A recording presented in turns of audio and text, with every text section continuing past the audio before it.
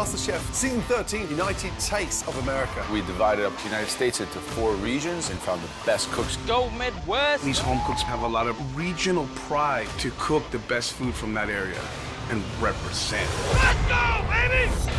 It's time to talk about this season's massive twist. You actually have the home cooks working in teams, cooking together in the MasterChef kitchen. Four regions, 20 contestants. The South plays dirty. Ah!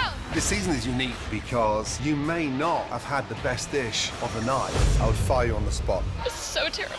But you could be saved by someone in your team having the overall best dish, which takes you and your region into the next stage of the competitions. This is exactly what we were asking for.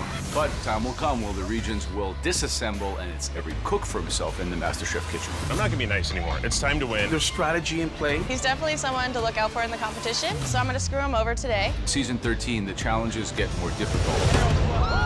We're going out to military, to ballparks. Ice cold and it's raw. We have such a fantastic group of guests, judges. Andre Rush was chef, a military man. One of the original OGs of MasterChef, Graham Elliot. Stakes are high, the cooking level couldn't be higher. Iconic, classic. This year is going to be one of the most competitive. Come on! We're in big trouble. It's a competition, guys. Find out where in America do the best cooks come from.